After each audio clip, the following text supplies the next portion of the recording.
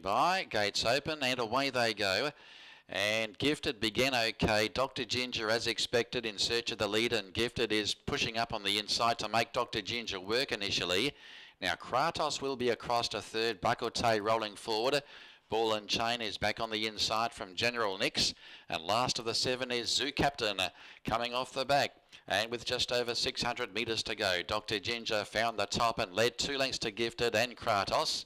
Out deeper, Bakote, Ball and Chain. And three off last is General Nix. And on his outside is Zoo Captain. Approaching the home turn.